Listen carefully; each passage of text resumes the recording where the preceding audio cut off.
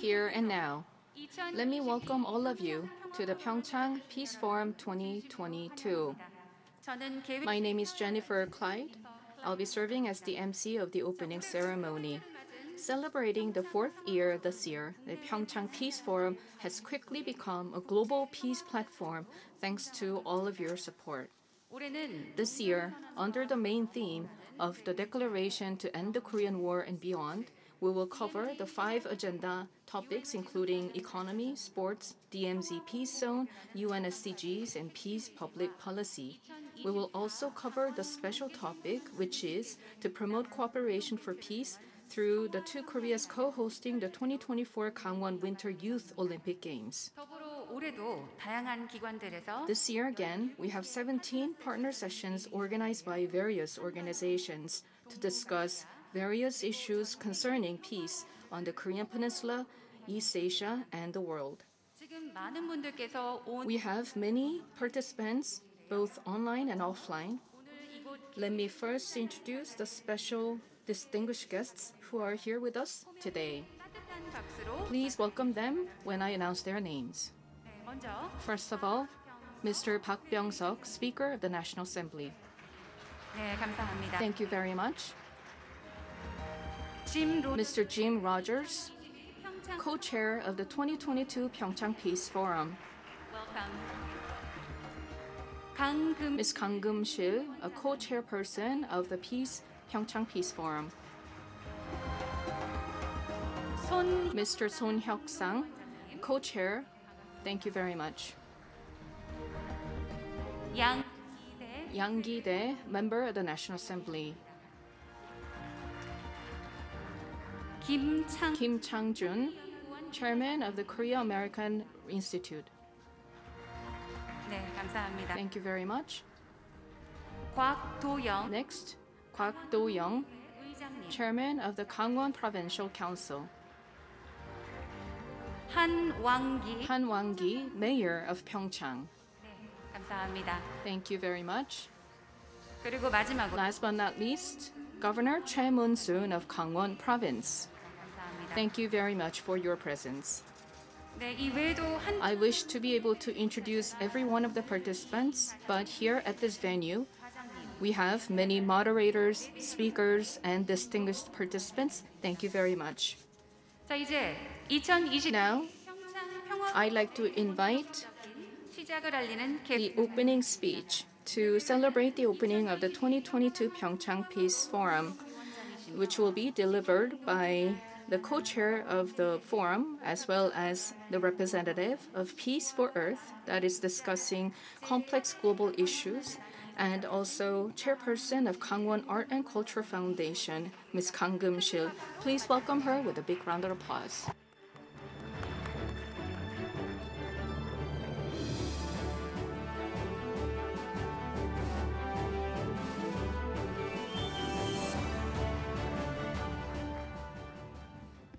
여러분 안녕하십니까? Good afternoon. 22년 평 Welcome to the Pyeongchang Peace Forum 2022. 사회제 This is the fourth forum it's- of its kind ever since the 2018 Pyeongchang Winter Olympics. I have come from Seoul this morning.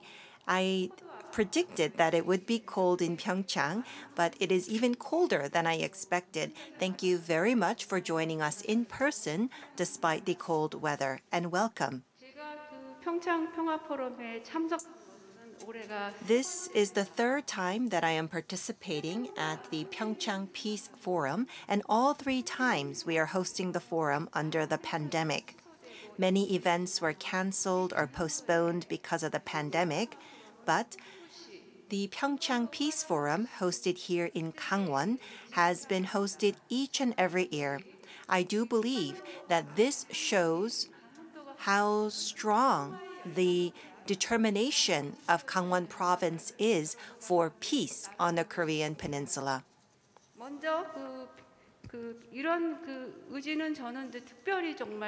And I would like to mention this once again in hosting the Pyeongchang Winter Olympics in 2018, the person who has contributed the most to winning the bid for that Olympic, as well as hosting this Pyeongchang Peace Forum, I would like to thank Governor Choi Moon-soon for all of his contributions. Thank you very much.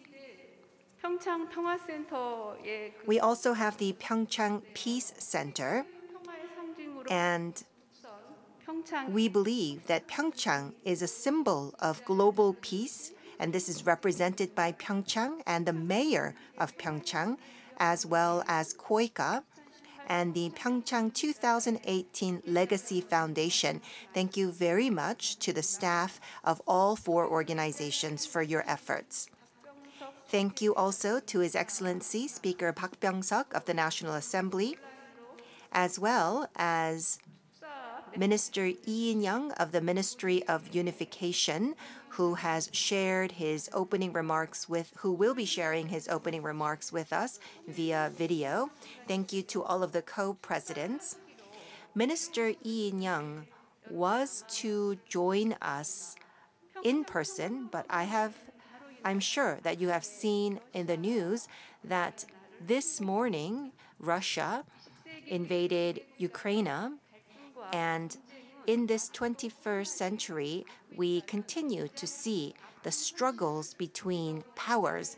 And that is something that we are witnessing on this very day that we are hosting this peace forum, Dreaming of Peace. We hope to achieve peace not using any violent ways. We are against all violent forms of action. I do hope that Pyeongchang Peace Forum today will deliver the message of peace to over 200 participants from around the world who are participating as speakers, as well as the audience who have joined us both online and offline. We are gathered here on the Korean Peninsula, where we are still a divided nation. We are gathered here to dream of peace and to envision peace together. I would also like to add that in 2024, we hope to be the host for the Gangwon 2024 Youth Olympic. We will be gathering the youth from around the world, and we hope that the youth can live in a future of peace on the Korean Peninsula. Let us gather our wisdom and determination to move forward for that peace. Thank you very much. Thank you very much. It was the opening speech delivered by co-president Kang Geum-sil. And with that, we have opened the Pyeongchang Peace Forum 2022. I sincerely hope that this forum will guide us into peace. The Pyeongchang Peace Forum is a global peace platform that has been created and nurtured by many stakeholders and many experts, including uh, co-president Kang Geum-sil. We have a total of six co-presidents and members of the organizing committee representing various areas. And on behalf of them, we have three co-presidents that will deliver the welcoming remarks.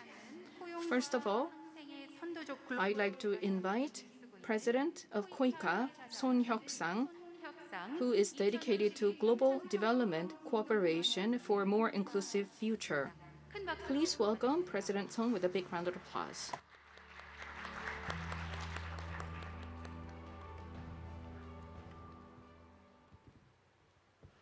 안녕하십니까?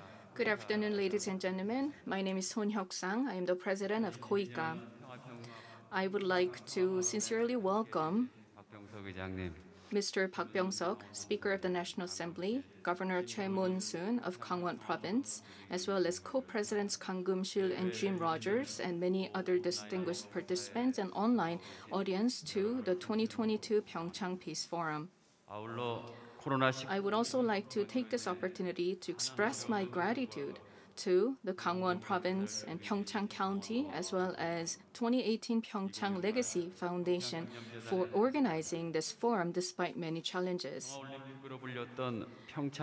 It was four years ago when we hosted the Pyeongchang Winter Olympic Games, also known as the Peace Olympic Games, and since then, many have changed. When we look back on the past four years, we have had many ups and downs along the Korean Peninsula peace process, but I believe that we have made significant achievements. Most of all, I remember that we were able to end the phase of crisis on the Korean Peninsula and started to discuss peaceful coexistence. As we all remember, the discussion of peaceful coexistence will not be maintained by itself. We need to make continuous efforts to maintain the momentum of our discussion. In this regard, I believe that the motto of the Pyeongchang Peace Forum 2022 is very timely as it is claiming peace here and now. Peace is not just an abstract discussion, but this is very much relevant to our reality and we're discussing peace on this peninsula, and we are reminded of the importance of peace once again. But as you can see in today's breaking news of the Ukrainian situation, we know that peace is not something that we need to achieve not only on the Korean Peninsula, but many parts of the world. The pandemic has been going on for more than two years, and the pandemic has amplified many global challenges, including climate crisis, income disparity, inequalities, and gender discrimination. And the pandemic has further worsened conflicts and tension among generations, races, regions, and many parts of the society. We need to make further efforts to secure peace and avoid risks of conflict. For the past two years, the humanity was able to co-develop vaccines and distribute vaccines to developing countries through COVAX. But we, at the same time, saw many signs of nationalism and protectionism. And many parts of the world, they have been blaming other countries for their domestic issues caused by the pandemic. Peace is not easy to achieve. But in order to maintain the state of peace, we need to work really hard, otherwise, peace may slip through our fingers instantly, and the pandemic has taught us this very important lesson. I am representing here KOICA, and KOICA is dedicated to implementing the SDGs, which have been agreed by the international community. And one of the core values and principles of the SDGs is peace. And that is why the UNSDGs is part of the main agenda for the Pyeongchang Peace Forum. Of the 17 SDGs, peace is included in SDG goal number 16. It argues for peace, justice, and strong institutions. It shows that peace is a means to implement the SDGs, but it is an objective and a goal that we need to achieve at the same time. We cannot develop without peace, and we cannot achieve peace without development. It means that development without peace will not be sustainable. If hunger, famine, discrimination, and isolation are not addressed, peace will be threatened, and we will see increasing conflicts. And discussing peace on the global stage as is important as discussing peace on the Korean Peninsula. I would also like to ask for your support in implementing the SDGs and promoting international cooperation for development in order to achieve peace. KOICA will continue to work with various domestic and global partners to eliminate threats to peace and continue to promote international cooperation for development. Let me now close my welcoming remarks. The global challenges, including the climate crisis and the pandemic, are very complicated and multidimensional, and they are all interrelated. Therefore, we need to find more integrative and creative solutions to addressing these global challenges. These challenges cannot be addressed or resolved by any single country or an institution. We need partnership and cooperation of various organizations and institutions. Therefore, we need to strengthen our level of cooperation to achieve peace. We will have this 2022 Pyeongchang Peace Forum for three days starting from today. There are various sessions prepared for you where you will be able to find experts, activists, and members of the central and local governments and international organizations to put their heads together and find solutions to the global challenges. And I'd like to ask for your active participation and share your wisdom and experience. I would like to welcome not only the offline participants, but online participants for joining us from around the world. And I hope that we can find an integrative and creative solution to peace. I also hope that peace on the Korean Peninsula will contribute to global peace, and discussion on global peace will contribute to building peace on the Korean Peninsula, which will indeed create a virtuous cycle. Once again, I'd like to thank all the organizers for putting together this forum, and I hope that this forum will continue to grow into the future when we will have next and the next Winter Olympic Games. Thank you. Thank you very much, Mr. Son Hyuk-sang, for your remarks. Next, we would like to invite an IOC member as well as the coordinating member for the 2024 Gangwon Youth Olympics, who is also a co-president for this conference. He has sent us his remarks right after the Beijing Olympics. Dear friends and colleagues, greetings to you all. My name is Zhang Hong, a member of IOC and co-chair of Pyeongchang Peace Forum Organizing Committee. I express a warm welcome and many thanks to all the participants, hosts, and organizers for their efforts. Four years have passed since Pyeongchang 2018 successful and peaceful conclusion. The legacy of peace and the Pyeongchang spirit is continuing through this forum. And it is with great pleasure and honor for me to be part of this. Governor Shen Min-sun, Mayor Han Wang-gi, my dearest friend Liu Cheng-min, and other five co-chairs, please accept my deepest gratitude for taking the time for this forum. Despite the difficulties posed by the COVID-19 pandemic, the Olympic Winter Games Beijing 2022 is trying to pursue the ultimate goals of the Games. Just like Pyeongchang 2018 proved how the power of sport and the passion of athletes can unite the world as one and build a better world through sport. Building on experiences of Beijing 2022, I will do my very best to help prepare for the upcoming Gangwon 2024 Winter Youth Olympic Games as the chair of the Coordination Commission. Finally, I would like to take this opportunity to thank all of you supporting us in our journey towards peace. I sincerely look forward to the day when the pandemic is over and we get together in person. In Pyeongchang, Gangwon soon.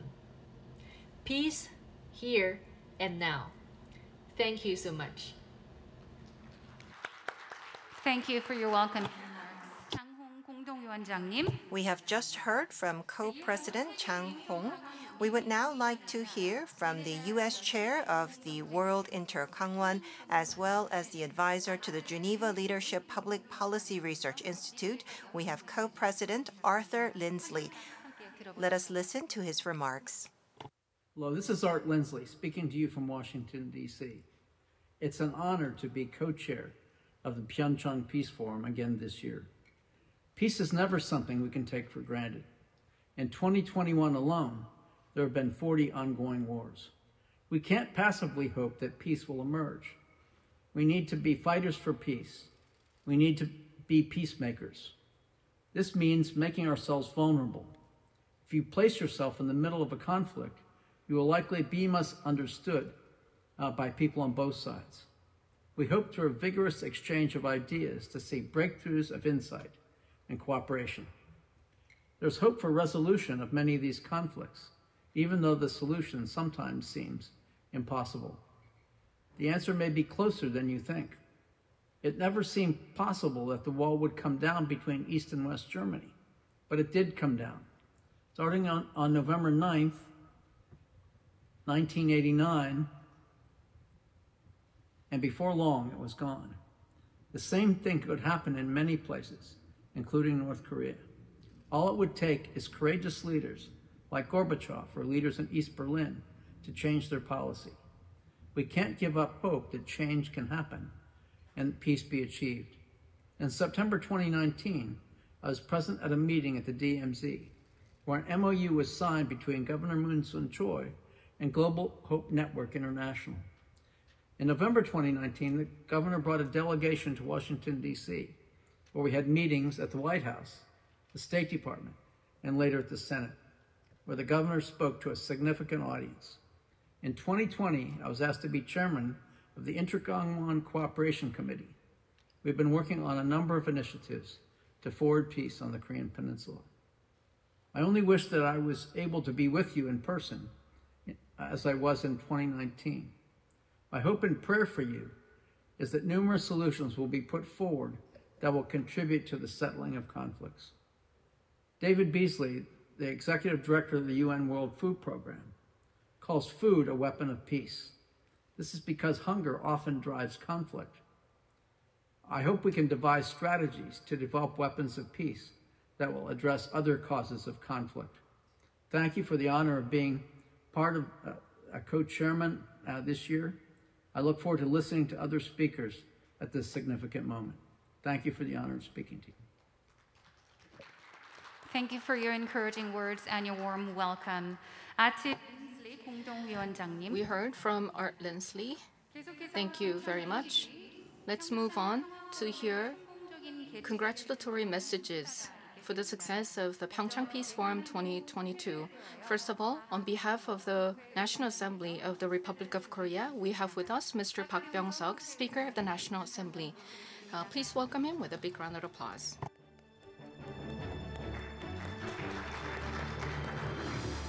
상태에서 예 어려움 Thank you very much. I would like to express my gratitude to Governor Choi Moon-soon, Mayor Han Wang-gi, as well as former Minister Kang Geum-sil and President Son Hyuk-sang uh, and six co-presidents of the forum. Thank you very much for your effort. 그리고 특히 우리 김 로저스 I would also like to acknowledge 장께서는 Chairman Jim Rogers, 영하 15도로 and um, 도의 차이를 무릅쓰고 he has come to Korea uh, to overcome the temperature difference of 45 degrees. 그리고 평소에 제가 예, 존경하고 가깝게 내 I would also like to mention that there are many distinguished participants. National Assemblyman Yang Gi-dae and Lee Young-ok, former Minister of Gender Equality and Family, as well as um, U.S. Congressman Mr. Kim and and uh, we have also Buddhist monk Yeohoon. Thank you very much. Four years ago, here in Pyeongchang, it was winter as a season, but we opened the spring of the Korean Peninsula. At that time, the world was re, the world was united and there was passion connected.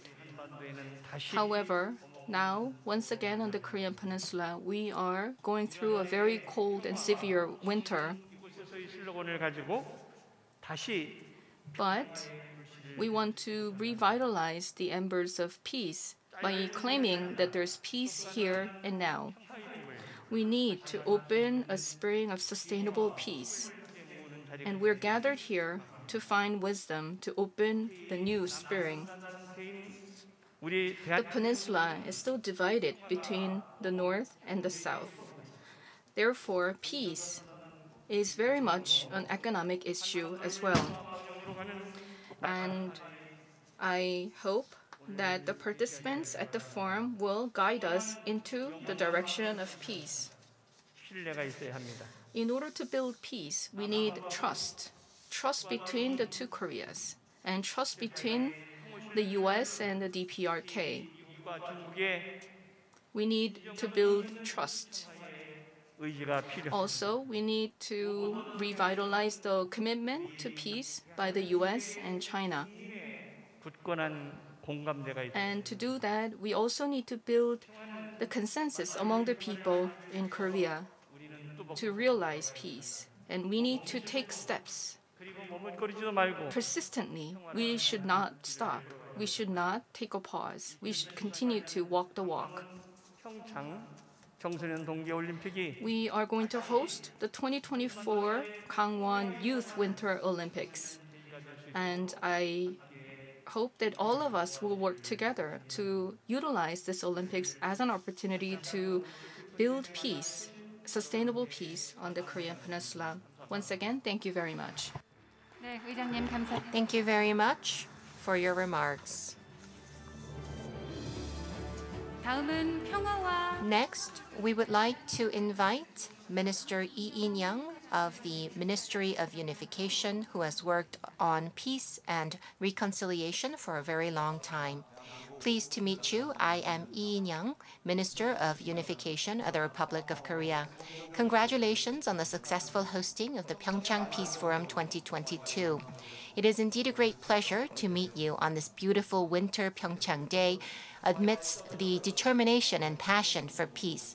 Thank you to Governor Choi Moon-soon and Mayor Han Wang-sang, as well as President Son Hyuk-sang for this event. And thank you to Chairman Kang Geum-sil of the Gangwon Art and Culture Foundation, as well as Ms. Zhang Hong, co-president of this forum, and Mr. Arthur Lindsley, a co-president, as well as Speaker of the National Assembly, for joining us today and also for your determination and passion for peace. I would like to extend a special thank you to Chairman Jim Rogers for joining us as the keynote speaker. It is indeed a great pleasure to meet you again.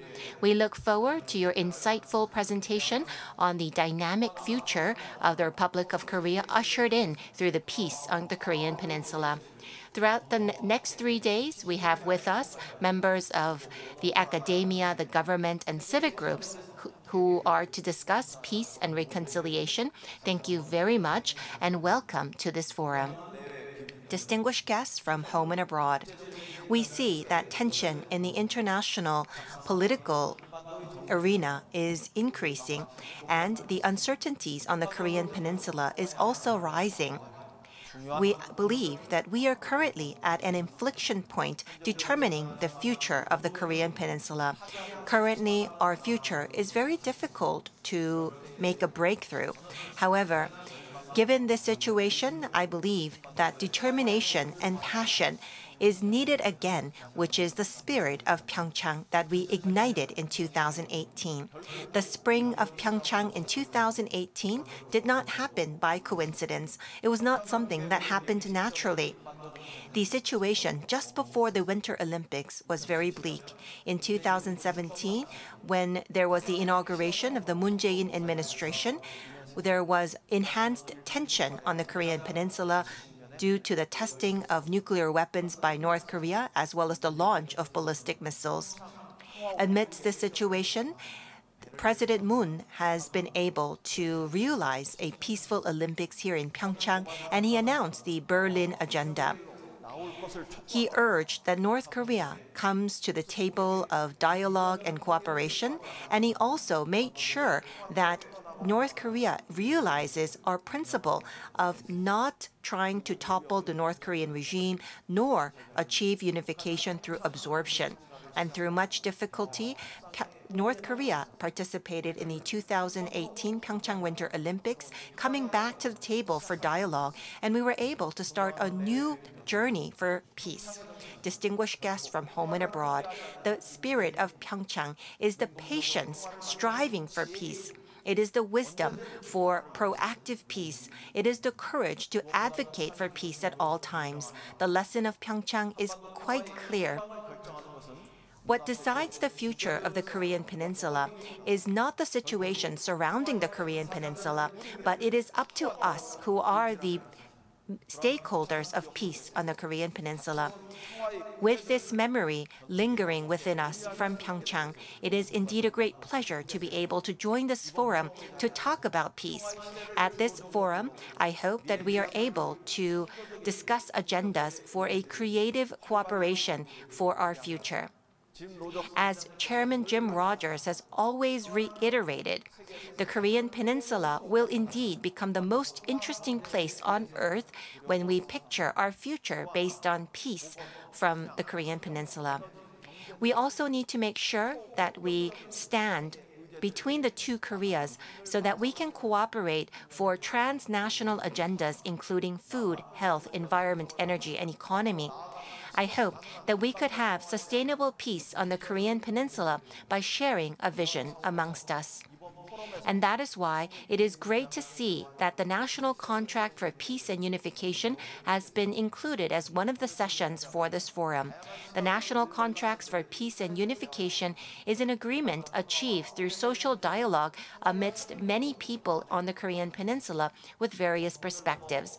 Regardless of political affiliation, beyond administration, we can achieve peace regardless of generation, we can achieve peace together. This contract holds the passion for peace amongst the public of the, of the two Koreas. Although we were not able to cross the river of peace, we look forward to proceeding with peace throughout future administrations. Based on the consensus of the people of Korea and the international society, this government will do its best to keep up with our responsibilities until the very end. Distinguished guests from home and abroad, however age old land may be, if you plant a new seed, you can see that new flowers will blossom and new fruits will come from that flower. The Korean Peninsula has been divided for a very long time, but if we continue to plant the seed of coexistence, we will indeed see the blossom of peace and the fruit of prosperity that we had never experienced before. On this way towards our dream, I hope that the two Koreas will work together with the international society. I also hope that this year's Peace Forum will become a starting point for the message of peace and unification.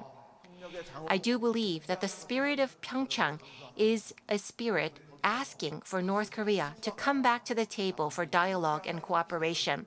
We hope to create a miracle together between the two Koreas. Thank you very much for supporting peace on the Korean Peninsula. I thank you and I wish you all the best. Thank you very much. 네, 이인영 Minister Lee In-young of the Minister of Unification, thank you very much. Next, I'd like to invite a special congratulatory message from someone very special, uh, UN Secretary General Antonio Guterres, who has been providing us with support for peace on the Korean Peninsula. Please take a look. It is a pleasure to send my warmest greetings to the Pyeongchang Peace Forum. We are living in a time of escalating geopolitical tensions and divisions, when misunderstanding or miscalculation could have disastrous consequences for humanity. It will take unity and solidarity to turn the tide and realize the Pyeongchang Peace Forum vision of peace here and now. Inclusive and participatory dialogue for peace is imperative. Your discussions are also fundamental to advancing the proposals I have put forward in my own report, Our Common Agenda.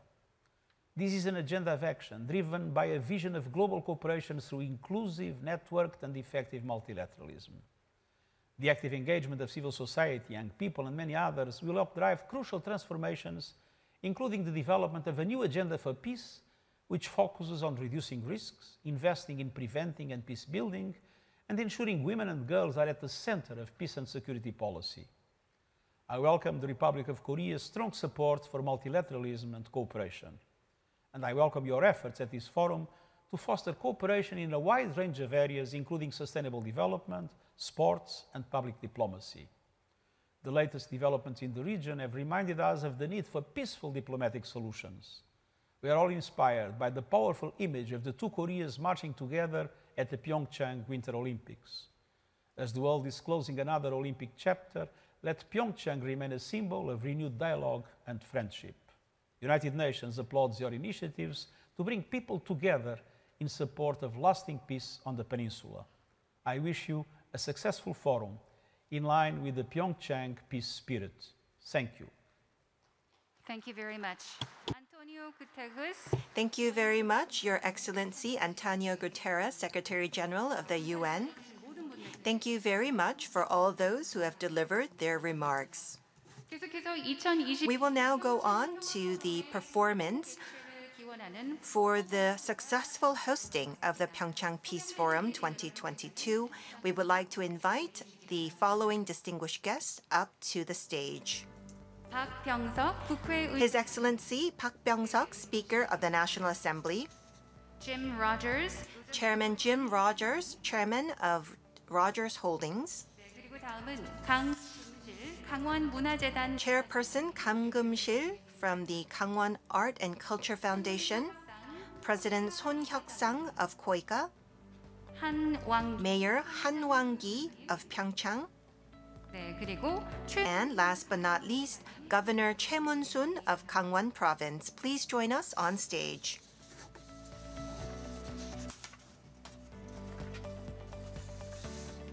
네 감사합니다. Thank you very much for joining us on stage. 오늘 퍼포먼스는 평창 We will have the opening performance.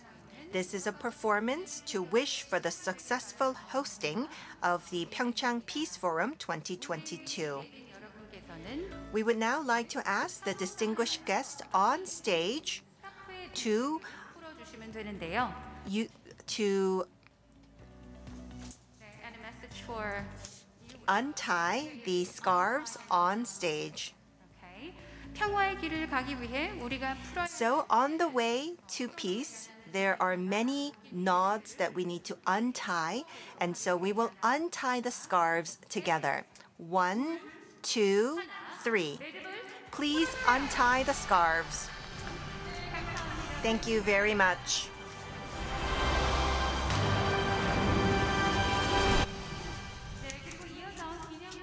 We will now take a commemorative photo. Please stand on stage. We would like to ask you to please stand on stage as we take a commemorative photo. And please face forward. We will now take a picture.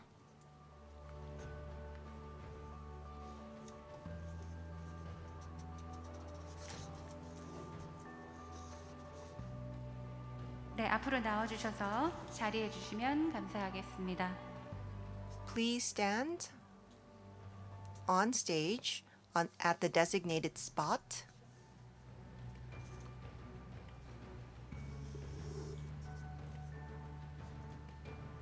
네, welcome to the stage.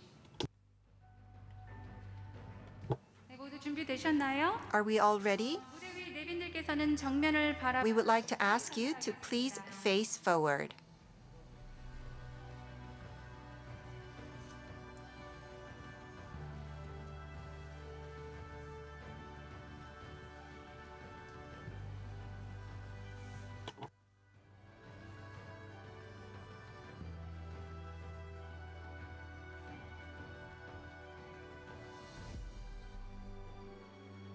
감사합니다. Thank you very much. Please return to your seats. Thank you very much.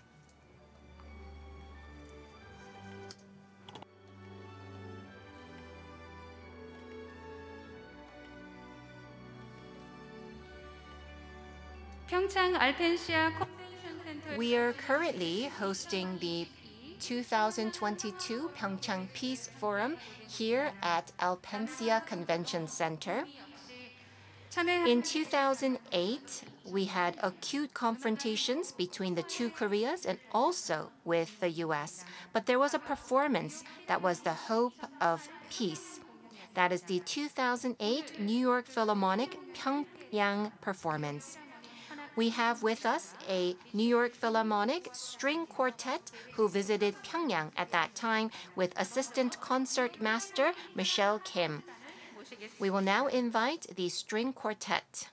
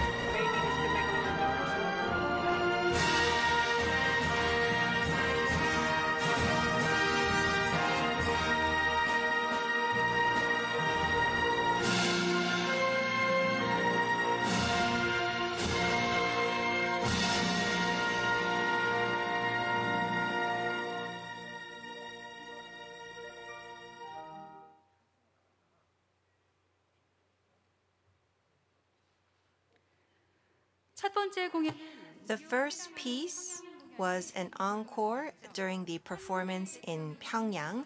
It is Arirang in the variation for string quartet from a Fantasia version by composer Choi Song-hwan. Let us invite the New York Philharmonic String Quartet.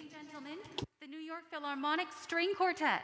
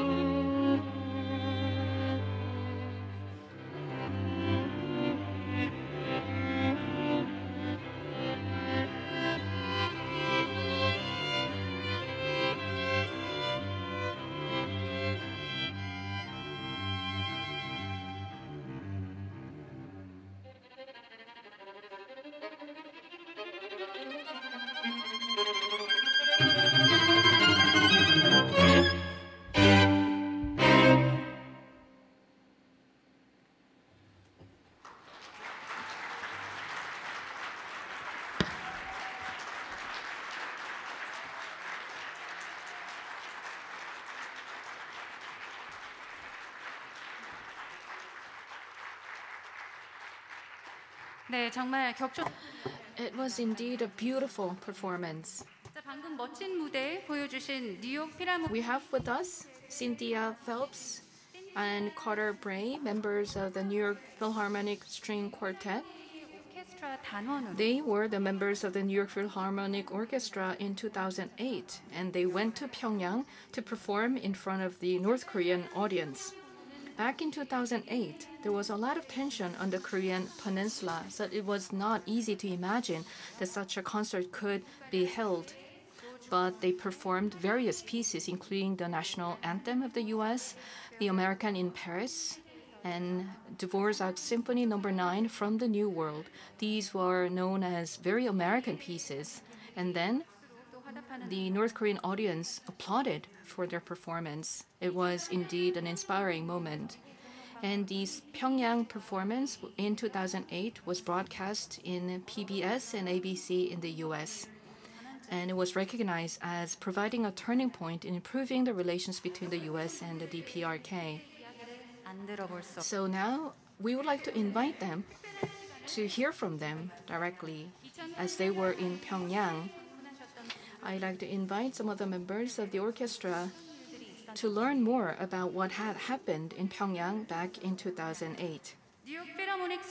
Let me invite Frank Huang, Qianqian Li, Cynthia Phelps, and Carter Bray, members of the New York Philharmonic String Quartet members, as well as Michelle Kim, assistant concert master, and Governor Choi Moon-soon, who visited Pyongyang back then in 2008 as a leader of the MBC broadcasting team.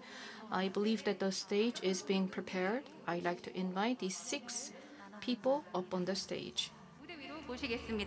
Come up on the stage. Please welcome them with a big round of applause.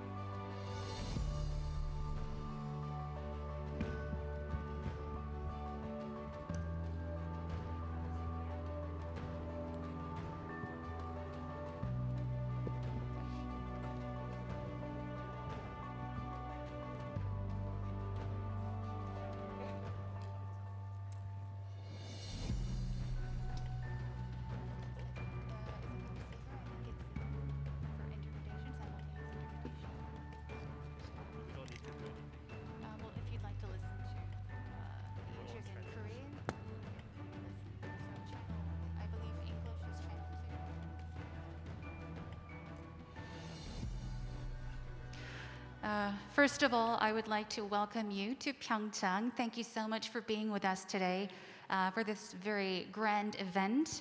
And I would like to thank you on behalf of everyone here and everyone joining us on and offline uh, for the beautiful music. Thank you so much. Thank you. Um, uh, we would love to hear stories about uh, your performance when you visited uh, in uh, Pyeongchang, uh, not Pyeongchang, Pyongyang in 2008. And I'd like to begin by asking Frank Huang. Um, we were so thrilled to hear that we would be yeah, given the opportunity to listen to the string quartet version of Arirang right here in Pyeongchang at the uh, Peace Forum, especially because Arirang was the song that the New York Philharmonic Orchestra played back in 2008 in Pyongyang. It's very tricky. so, could you kindly introduce the New York Philharmonic Quartet as well as the music pieces that you performed for us today? Yes. Uh, so my name is Frank Huang. I am the concertmaster of the New York Philharmonic. Uh, and my quartet colleagues, uh, Qianqian Li, Cynthia Phelps, and Carter Bray. Uh, and Michelle also is a colleague, but not in the quartet. and we are very happy to be here and to be a part of this, this great forum. Uh, today we, we played, we had the, the, the joy of playing Arirang for, for you.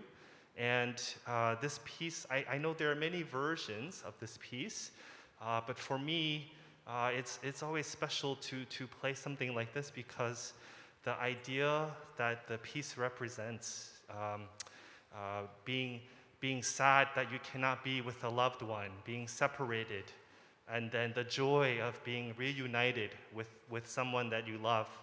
Um, it, it's something that all of us have experienced, uh, no matter where you're from, uh, what country you live in, and whether it's because of different circumstances like South Korea and North Korea, or even recently because of the pandemic, a lot of people could not be with their loved ones. Um, so, so for me, this kind of music, the, the way that it um, can transform uh, different barriers and everybody can understand these emotions uh, makes it very special for us. Um, the, and the second piece we played, uh, the Quartet Satz by Franz Schubert. Uh, this was a quartet movement written by Schubert in 1820 uh, when he was only in his early 20s and he was already developing his late style. Um, and for us, it's a meaningful piece. It's one of the first pieces we played as a string quartet when we formed.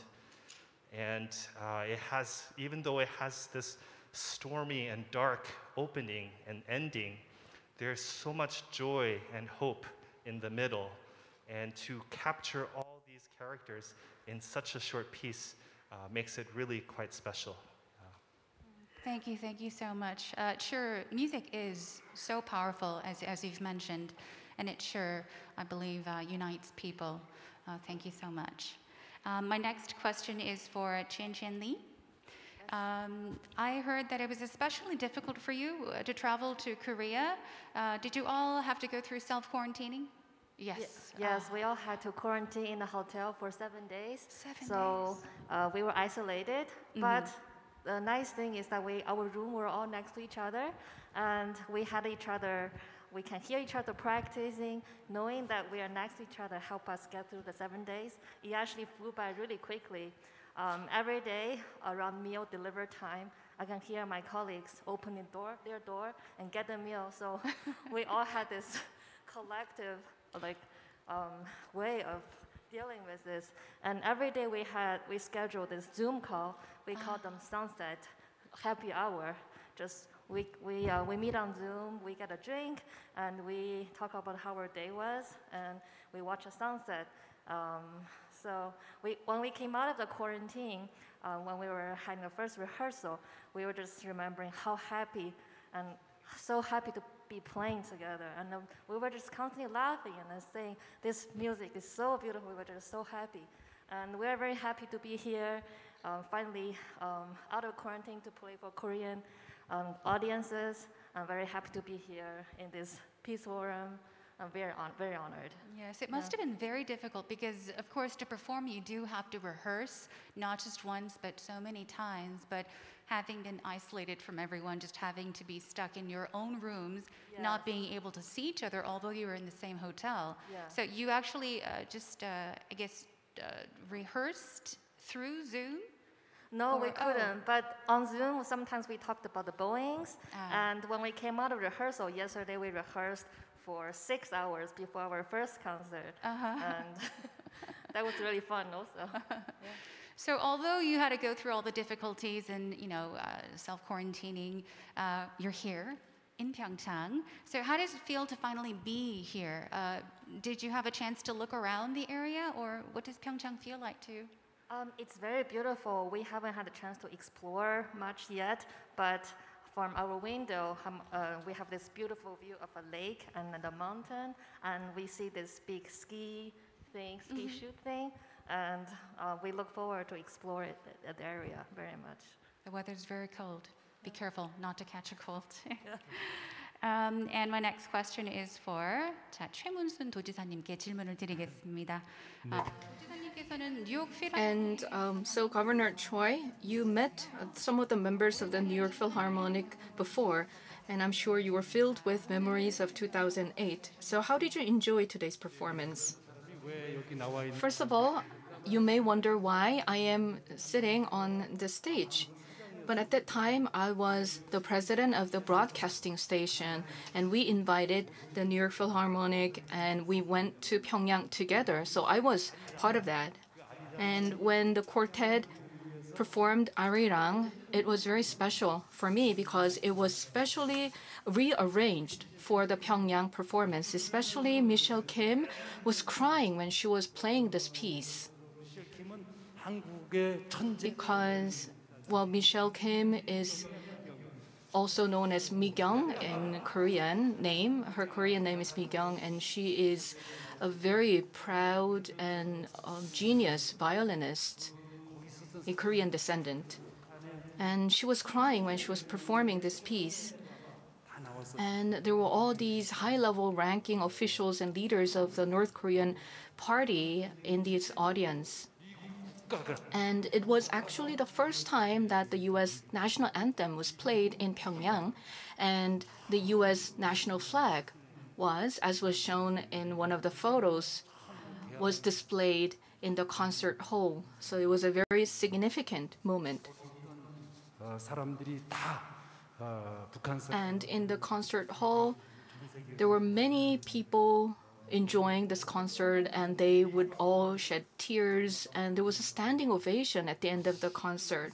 It was, I think, more than 10 minutes or 15 minutes continuous standing ovation. And these North Korean um, audience, they were there congratulating the performance and you can see that there was this national flag and it was a very inspiring moment yes i saw in the this introductory video that i almost was filled with tears myself as well i wonder how was this concert finally put together in 2008 was it complicated yes the, the entire process of preparing for this was complicated in 2006 North Korea conducted the second nuclear testing.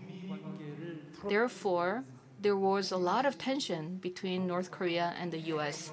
And there was a businessman called Bae Kyung-hwan who was doing business in the US, and he came up with this idea of inviting the New York Philharmonic and going to Pyongyang. So he contacted us, and we had to go through many different steps.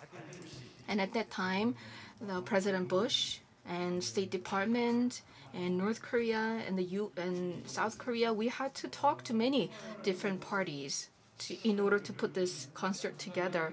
And at that time, the situation on the Korean Peninsula was very tense because of the nuclear testing. But thanks to our persistent effort, we were able to arrange this concert. And I think it takes a lot of effort and dedication to make this happen.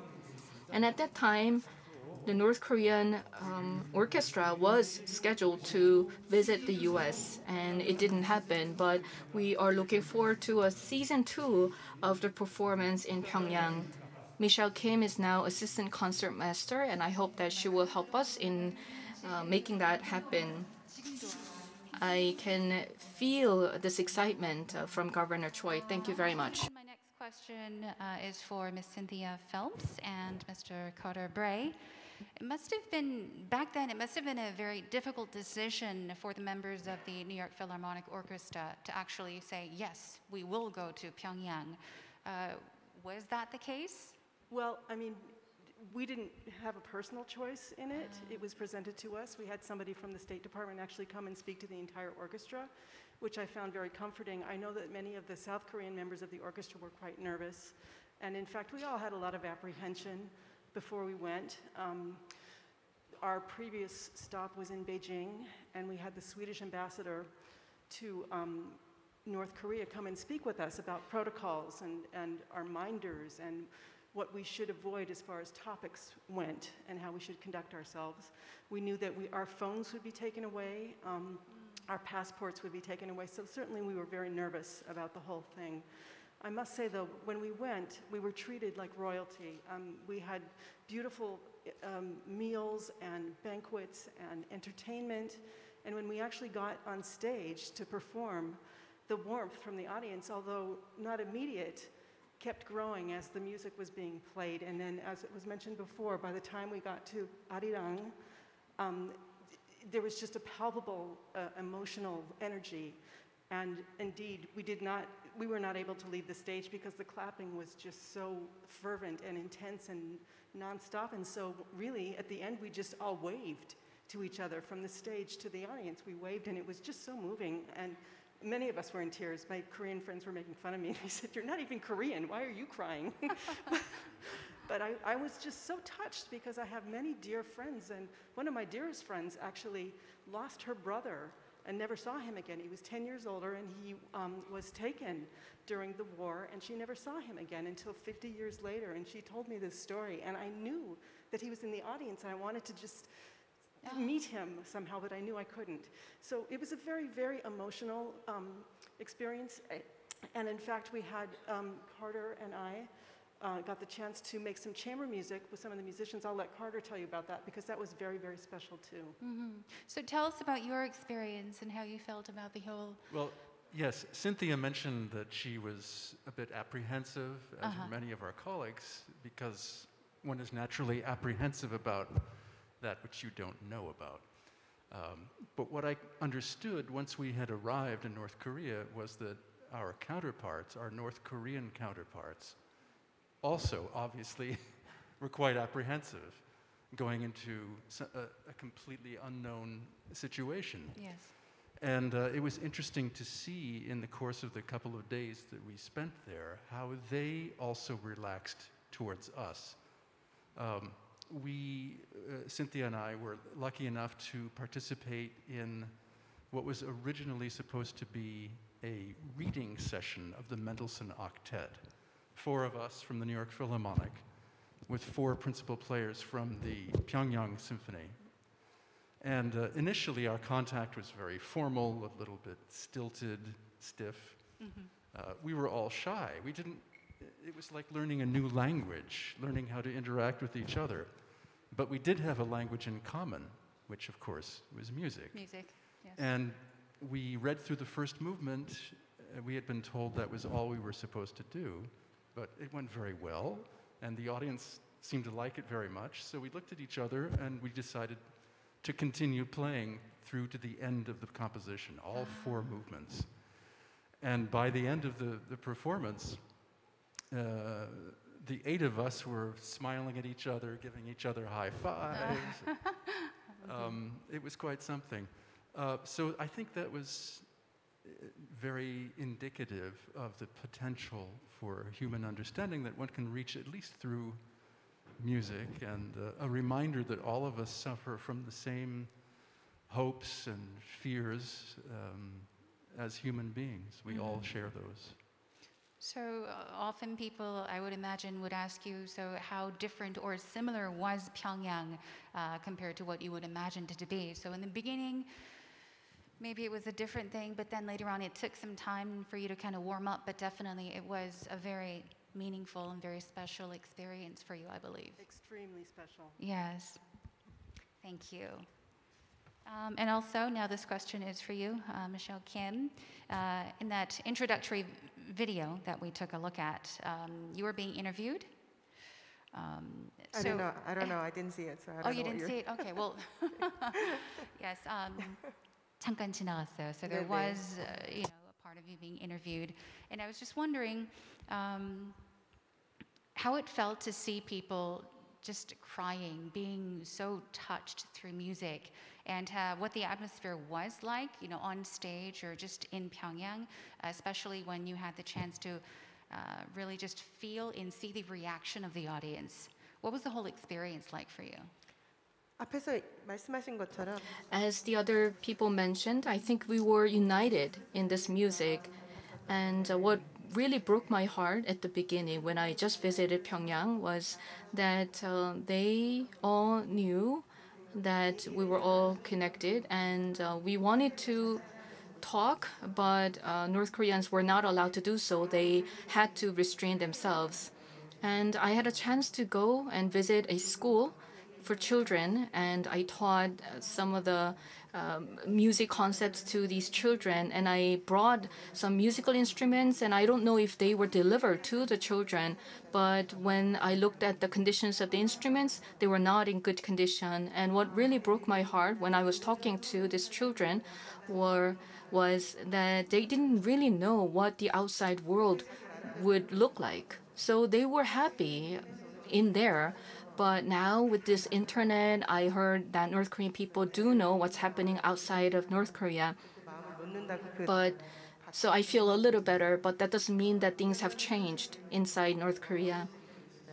And you know that a lot of seniors would say that there's this emotion, this uh, compressed emotion and sorrow in uh, the people's hearts, in Korean people's hearts. And I went to the US with my family when I was 10, but I think I felt this special emotion or Korean unique emotion called Han at that time. And at that time, uh, some would say that Arirang is a happy song and Arirang is rather a sad piece. So there are many interpretations of Arirang at that time. But when I was performing Arirang, I felt that we were the same people, but we were very different. So uh, my heart was rather sad and at that time it, i felt sad also because i had to leave. And we were there not to perform for the elite in north korea but for those who were not able to appreciate music but we were there in front of the elite. That was quite unfortunate. So that was 2008 long time ago but as I was listening to you, I felt like I was transported back there, and I am actually filled with the same emotions as if I were there, and I wonder how moved I would be. So you were not able to deliver the instruments directly to the children. No, I was not able to do so because there were security people watching me.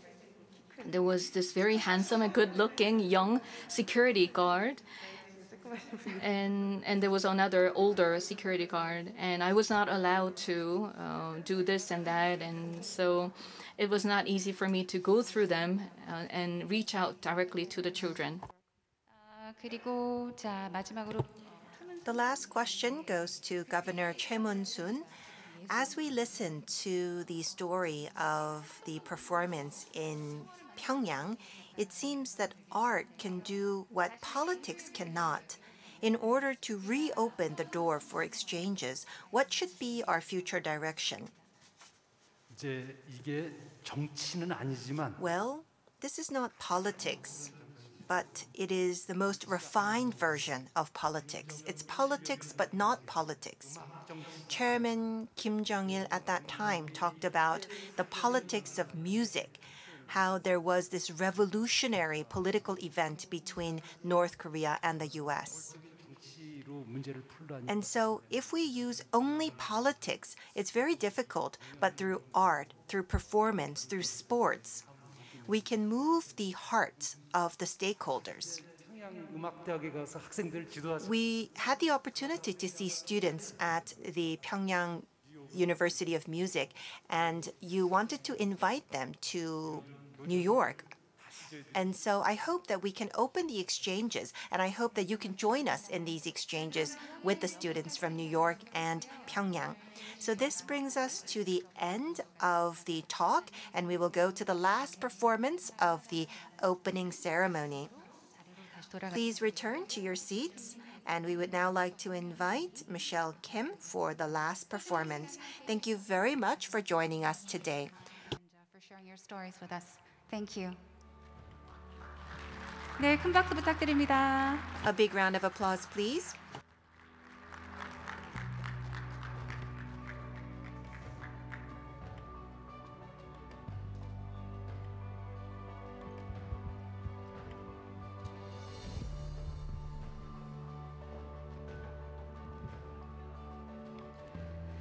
지금까지 So here at this venue, we were able to appreciate beautiful performance by the New York Philharmonic String Quartet, and we also had a chance to have a peace talk on this uh, Pyongyang performance in 2008.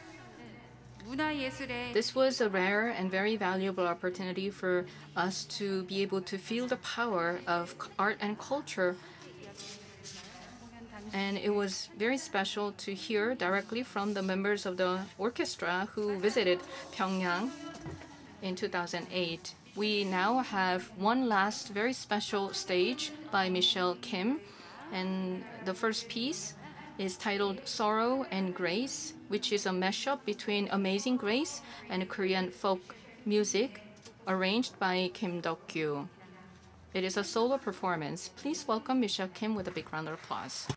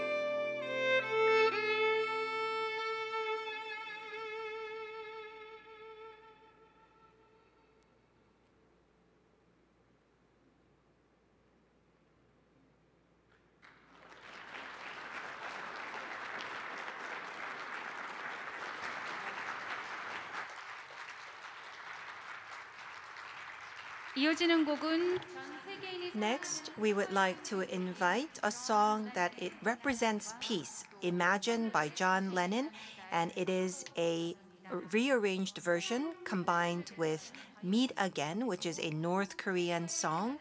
We will be inviting Michelle Kim, also a player of haegum, which is a Korean instrument, and ongyugum, which is a North Korean instrument. Let us invite this melody of peace.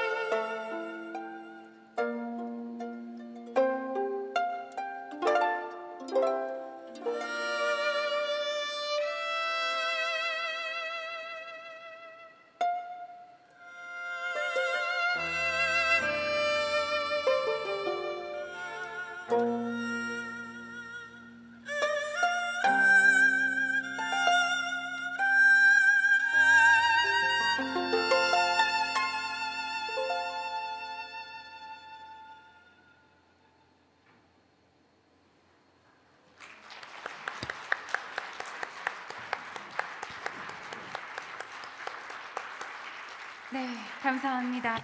Thank you very much. Another big round of applause, please. 2008년 평 In 2008, we started with a performance in Pyongyang. We went on to 2018 Pyeongchang Winter Olympics, and now we are here at the 2022 Pyeongchang Peace Forum. It was indeed very moving and beautiful. I would like to take this opportunity to once again thank the New York Philharmonic String Quartet, Michelle Kim, Kang Eun Il, and Kim Ha Yun. We would like to invite them back to the stage. Thank you very much for joining us all the way from the U.S. to perform for us today. Thank you to the string quartet of the New York Philharmonic, Ms. Michelle Kim, Ms. Kang Eun Il, and Ms. Kim Ha Hyun we would like to deliver some flowers to show our appreciation. Thank you very much for the beautiful performance. Another big round of applause, please.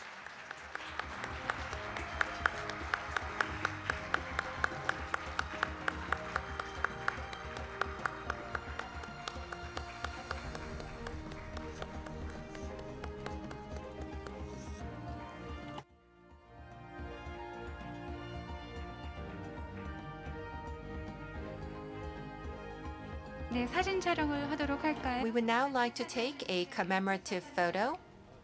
아, 이쪽으로 Can we move one step to the right or two steps to the right, please? 이쪽으로. 네, 이쪽으로. 네, 이쪽으로. 네, 됐습니다. Thank you very much. We would like to take a moment for a group photo.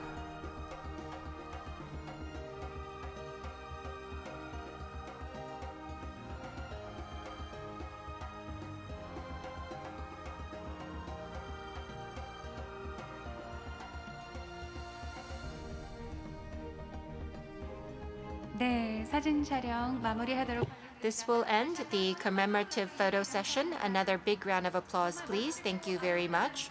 Thank you very much for that moving and beautiful performance. 자리로 돌아가 주세요. Please return to your seats. Return to your seats. Thank you very much.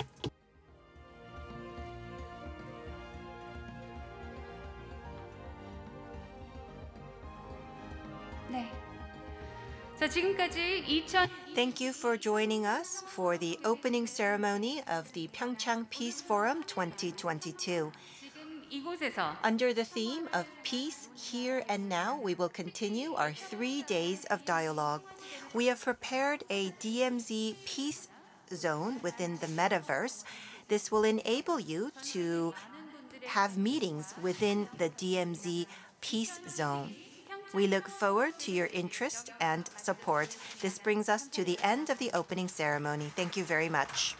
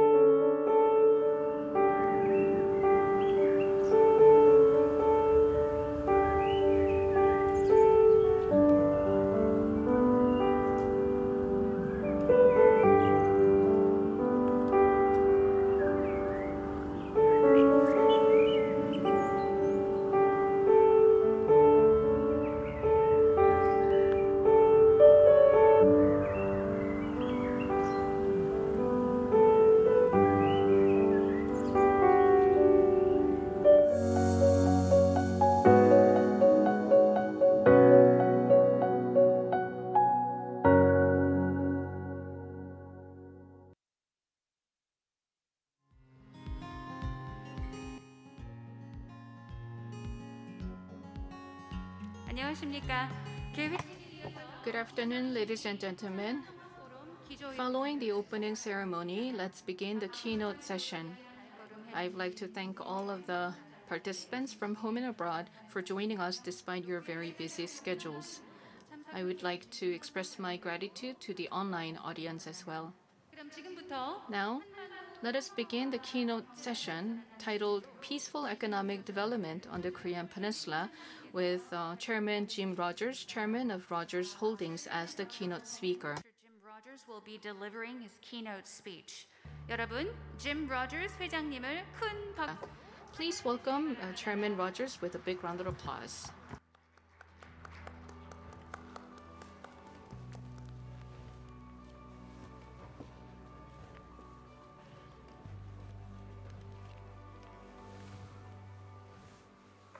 Thank you.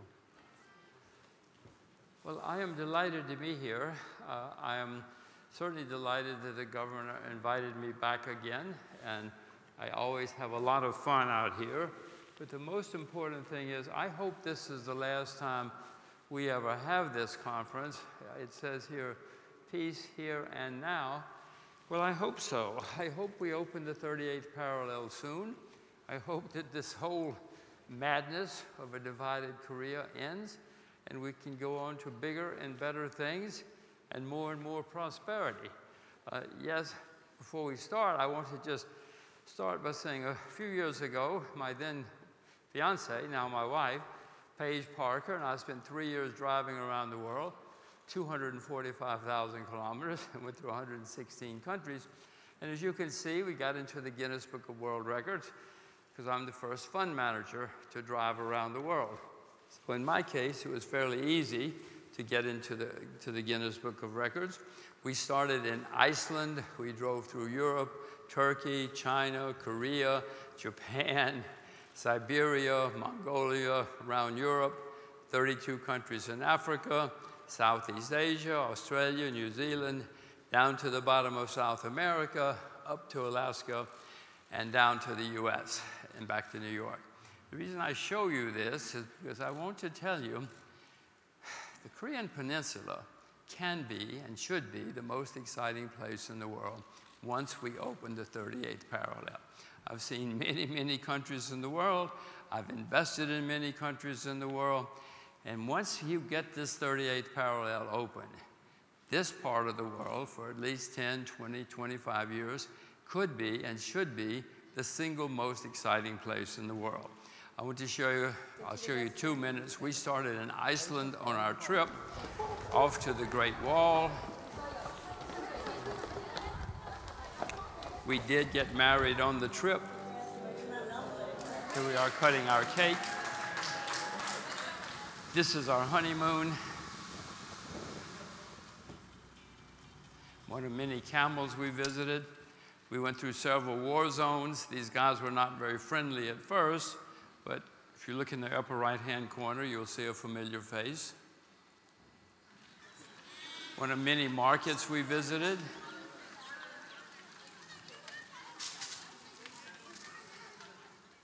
One of many bad roads.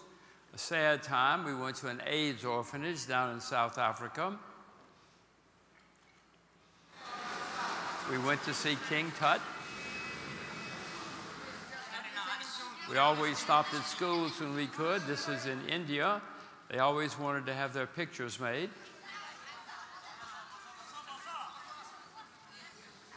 Myanmar, one of many roadside stands where we ate and drank. Iguazu Falls in South America.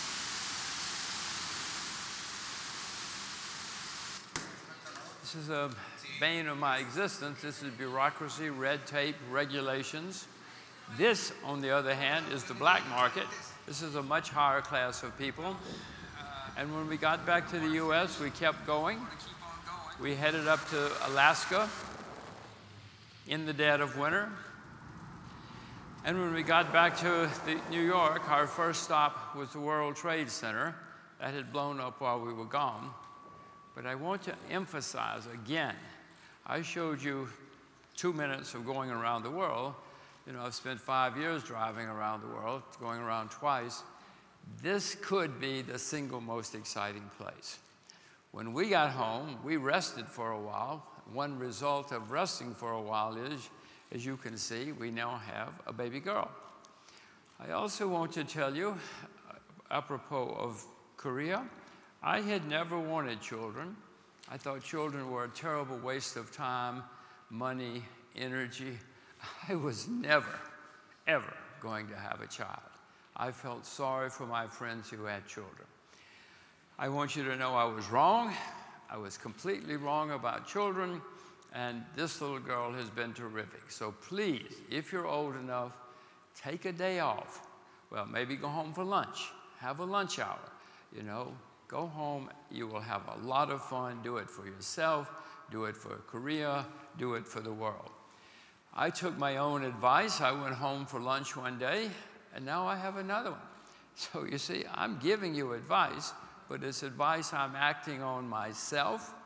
And by the way, I know that in Korea you think boys are good, and they are. I like boys, but girls are much, much better.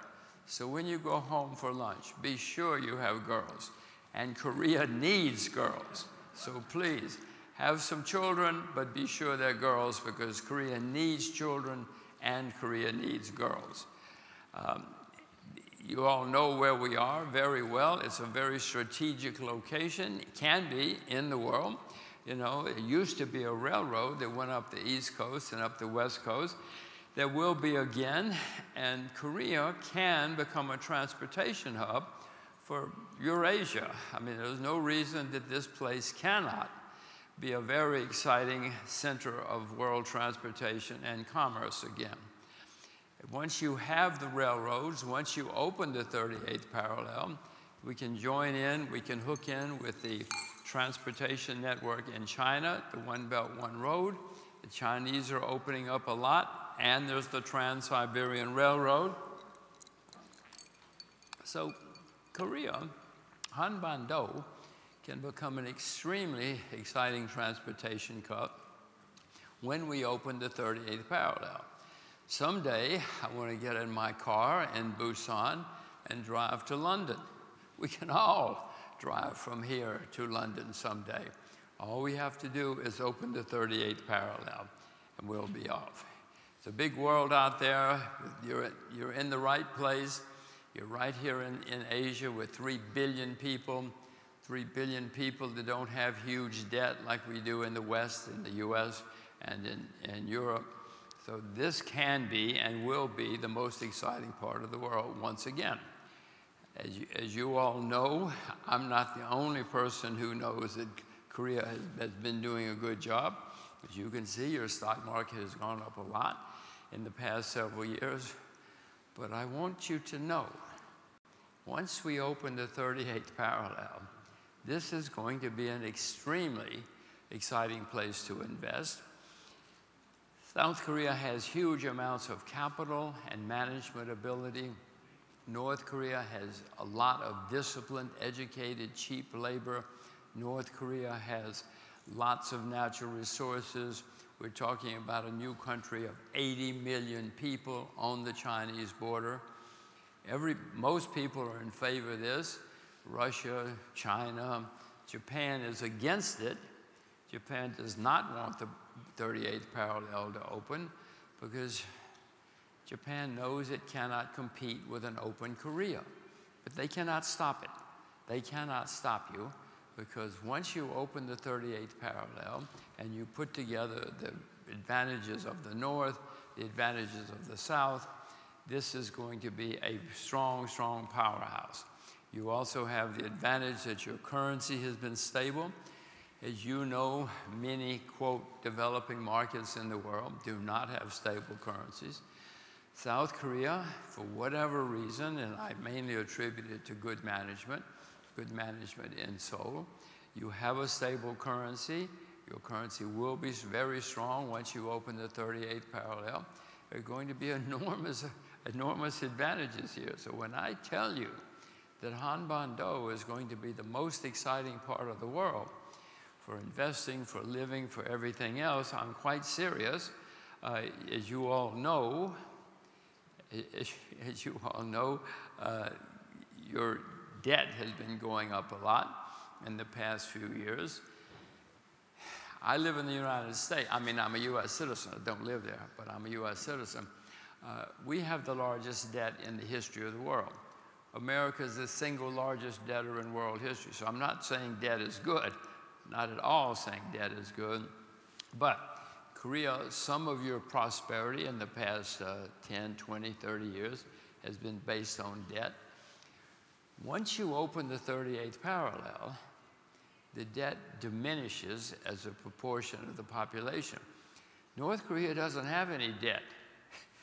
Nobody will lend money to the Kims, so you don't have to worry about adding a lot new debt to your, to your economy and to your society.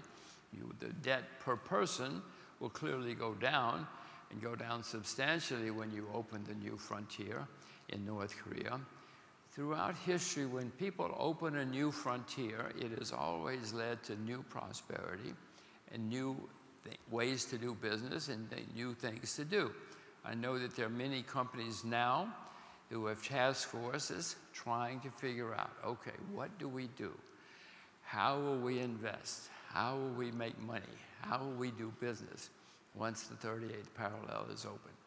I'm not the only person who knows this is coming uh, many major South Korean companies, and South Korea is going to be the biggest beneficiary of this new frontier. You have the language, you have the same grandparents, great grandparents, you have the same history, so most Korean companies are going to do very well. The debt burden that Korea, South Korea now has will be diminished. It's going to benefit you in many, many ways. Now, as you all know, South Korea spends huge amounts of money on defense every year. North Korea spends huge amounts of money on defense every year. Can you imagine how much money you're going to have once you don't have to spend a lot of money on guns and tanks and bullets? South Korea is spending gigantic amounts of money. North Korea is too you don't have to worry about getting killed in a war anymore. Once you have that 38th parallel open, and I'm not using the word unification, I, unification is not that significant to me, just open the border. Korea's been here for a few thousand years. You've had some good times, you've had some bad times. Once you open the 38th parallel, this, the Koreans, the 80 million Koreans who are here and who've been here for centuries, you'll figure out what to do. You don't need me to tell you what to do. You don't need anybody to tell you what you do. You open the 38th parallel, you stop spending all of this money, huge amounts of money that both of you, you see what a huge percentage of their gross national product is spent on defense? Maybe some people think that's good. I don't. I think we could build schools, highways, factories. We could have a big, big, big party if we opened the 38th parallel and stopped spending so much money on guns and tanks and bullets.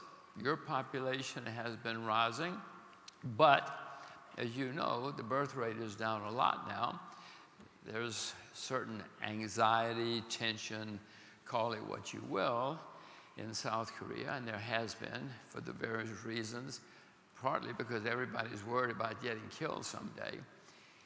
You don't have to worry about getting killed the rest of your life. Everybody has worried about getting killed all of their lives. We can stop that. We can spend the money on a big, big, big party, and we can have, as it says here, peace here and now. This can be done, and it can make the Korean Peninsula the single most exciting country in the world for a while. You know, Korea has never been on the world tourism map, the international tourism map, for many reasons. You know the reasons war, Japan, all sorts of reasons. Once the 38th parallel is open, many people are going to say, why don't we go to Korea? Let's see what it is, what it was. They haven't been here. They go to Bali, they go to China, they go to Japan even, they go other places when they think about traveling or thinking about Asia. But once there's peace and you don't have to worry about getting killed, many adventurous tourists, tourists will come here. They will see great man-made sites. They will see natural sites, food. Many people like Korean food. I don't particularly like most Korean food, but many people love Korean food. So when the first ones come here and they see what a great, exciting place this is, culturally, nature, the whole works, you're going to have a huge tourism boom. Many things are going to boom in this part of the world, including you will start having more babies again. One other advantage that we would have if we open the 38th parallel, as many of you know, you don't have enough, you don't have enough babies in South Korea, and you certainly don't have enough girl babies. I told you before, babies are good. I told you before, girl babies are good. They've got girls in North Korea. They've got wives in North Korea. You don't have to go to the Philippines. You don't have to go to Vietnam or Los Angeles to search for wives. There'll be plenty of females, so opening the 38th parallel will do enormous, have enormous benefits for Hanbando. Your social pressures from girls, the social pressure from war, the financial pressure, the economic war from spending a lot of money on guns and tanks. There are going to be gigantic and huge changes in Hanbando. It is going to be the most exciting place in the world for a decade or two or three. Uh, as I said, China's for it. Russia's for it. Japan is against it, but they cannot stop you. Japan knows they cannot compete with an open Hanbando, uh, an open Korean peninsula. So get to work and do it. Main problem, of course, is the American Army. The American Army doesn't want to leave, but somewhere along the line, the Koreans are going to say, this is our country. We don't need an army of occupation again we can open our borders. You can make peace, make a deal with the North Koreans, make a deal with the South Koreans, make a deal with China, make a deal with Russia. What a very, very exciting place. I'm gonna, I love Korea already. Korea is now my favorite country in the world for many reasons. It is going to be such a wonderful, exciting place. All you have to do is, you see what it says? Peace here and now. That's all you got to do. Somebody just needs to go and make a deal with Mr. Kim. It's going to change a lot of things. You get rid of the military. The money you spend on guns and tanks is going to be, go for other things. I will tell you what, some of you know the Western pop group, the Rolling Stones. I will bring the Rolling Stones. You bring Blackpink. Ah, we have the head of the National Assembly here. You bring Blackpink. The North Koreans can bring whoever they want. We will have a big party. We will leave the 38th parallel open. We will leave the DMZ open. And Hanbando will be a very, very exciting and prosperous place. Thank you. Thank you. Thank you.